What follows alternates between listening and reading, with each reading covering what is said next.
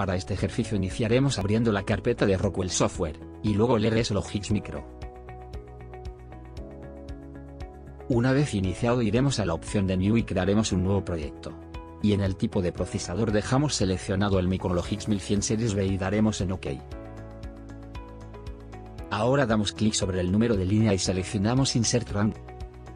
En la barra de instrucciones arrastramos un contacto NA, y llevamos sobre la primera línea hasta que su bornera se ponga verde indicando que ya podemos soltar. Hacemos lo mismo con la bobina.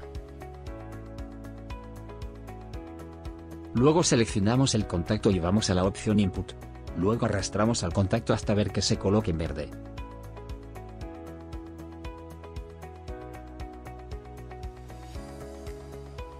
Haremos lo mismo en la bobina con la opción de Output.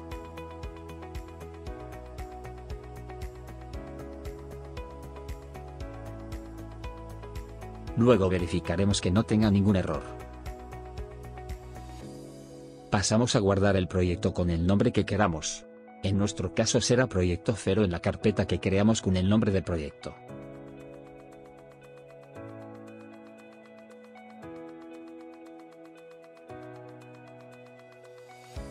Ahora abrimos el RSLogix Simulate 500.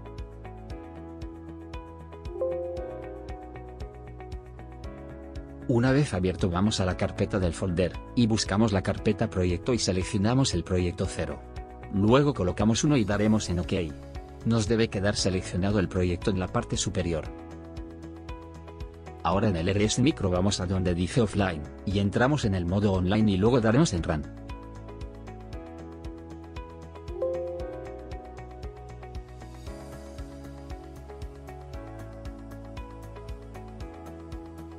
Una vez hecho esto abrimos tanto input como output.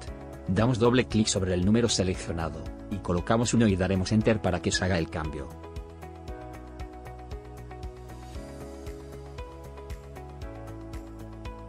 Si lo hacemos correctamente se deben mostrar dos líneas verdes a los lados, y esto indicará que se hizo correctamente y que está circulando corriente. Y estos serían los pasos. Gracias por ver este video.